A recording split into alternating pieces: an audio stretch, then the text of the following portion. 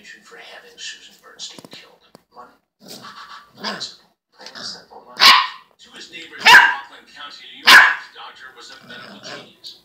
But behind the surgical mask, cops claimed he was a greedy monster, willing to do anything to save his fortune.